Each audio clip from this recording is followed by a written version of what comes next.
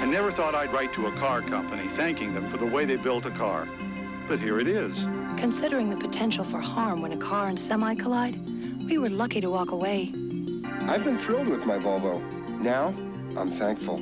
All we lost was our $250 deductible. We could have lost a lot more.